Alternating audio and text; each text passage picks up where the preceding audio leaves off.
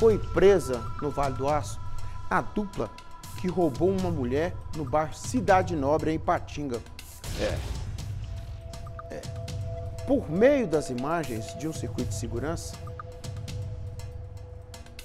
que flagrou a ação criminosa, os dois homens de 24 e 31 anos então foram localizados. Ah, olha lá, olha só a violência. A violência.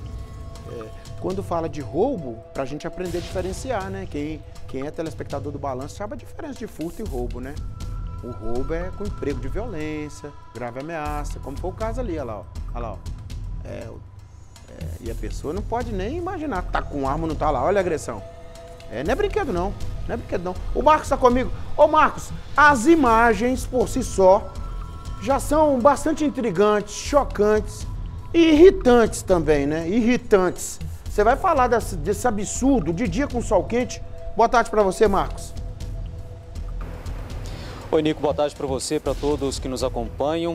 Intrigante e também revoltante, né? Imagine só, bem no início da tarde, Nico, dessa quinta-feira, em plena luz do dia, os assaltantes não estão nem escolhendo a hora, né? Eles abordam ali qualquer pessoa que está passando pela rua. Foi o caso desta mulher de 52 anos. Reparem nas imagens que ela caminha tranquilamente pela calçada na rua Graciliano Ramos, no bairro Cidade Nobre, aqui no município de Patinga. E ao fundo, repare, aproxima uma bicicleta.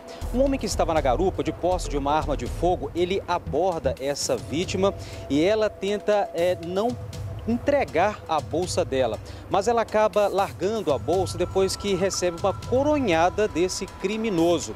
E essa mulher, ela corre desesperadamente pela rua Graciliamos e também ruas adjacentes do bairro Cidade Nobre à procura por ajuda e também, né, tentando aí é, que as pessoas localizassem, né, parassem esse homem, né, que assaltou essa mulher nesta calçada na rua Graciliano Ramos. Eles levaram dessa mulher um cordão dourado, entre outros pertences. A polícia iniciou o rastreamento e na tarde ainda dessa quinta-feira, Nico conseguiu localizar esses autores. Eles têm idades de 21 e 31 anos. São moradores do bairro Bom Jardim, aqui no município de Patinga. O de 31 anos, que estava armado né, e abordou essa mulher de 52 anos, ele foi encontrado perambulando pela rua, perdão, pela Avenida Manaim.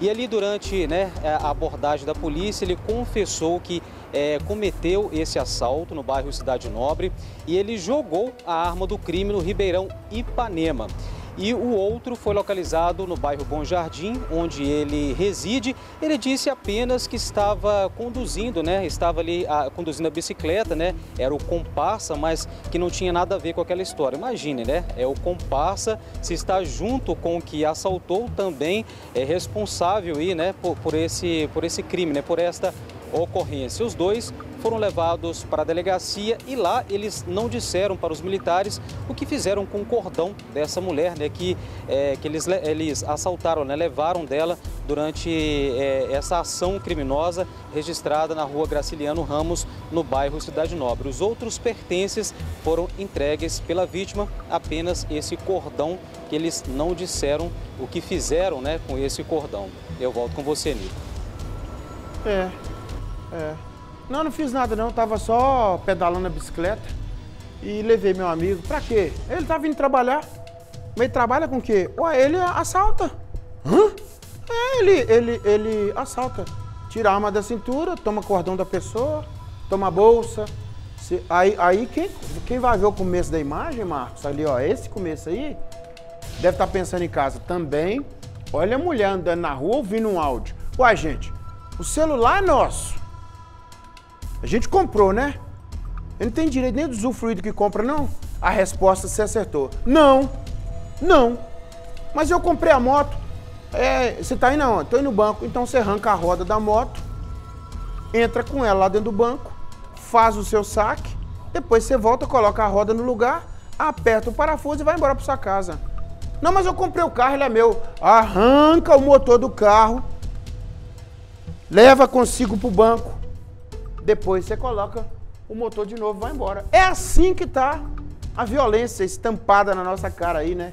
Não pode falar cara no jornalismo não, né? No nosso rosto, Marcos, fica mais educado.